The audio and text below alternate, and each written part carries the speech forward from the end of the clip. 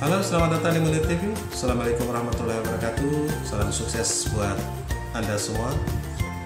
Kali ini kita akan bahas tentang Neuro Linguistic Programming atau NLP.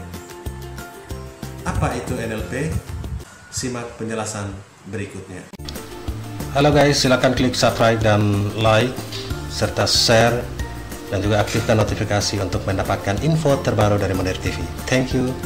Halo, selamat datang di Munir TV. Assalamualaikum warahmatullahi wabarakatuh. Salam sukses buat Anda semua. Kali ini kita akan bahas tentang Neuro Linguistic Programming atau NLP. Apa itu NLP? NLP adalah ilmu yang mempelajari tentang bagaimana cara mengorganisir pikiran manusia, perasaan manusia, bahasa manusia, dan perilaku manusia. Apa tujuannya? Agar mencapai sesuatu yang mereka inginkan sesuai dengan plan atau rencana mereka.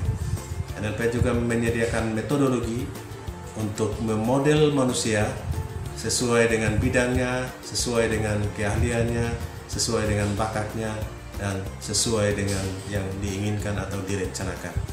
NLP juga menyediakan teknik atau pola tertentu untuk membawa perubahan manusia dengan merubah peta mental mereka atau mind map mereka atau peta pikiran mereka agar mereka sukses sesuai dengan yang direncanakan, sesuai dengan yang mereka inginkan.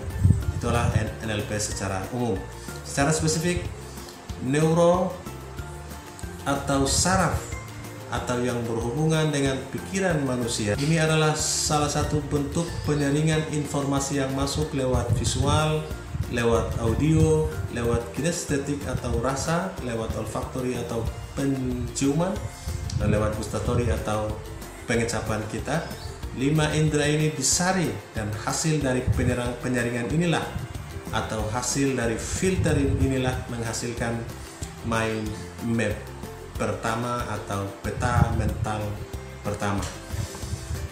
Yang kedua, linguistik adalah semua informasi dari peta mental pertama tadi ditempelkan dengan bahasa dimunculkan dalam bentuk bahasa atau linguistik dan membentuklah peta kedua. Sedangkan yang ketiga adalah programming bagaimana bisa menghasilkan sesuatu dari gabungan peta pertama dan peta kedua antara neuro dan linguistik hasil atau outcome atau representasi dari map pertama dan map kedua inilah menghasilkan suatu program atau programming. Simak penjelasan berikutnya.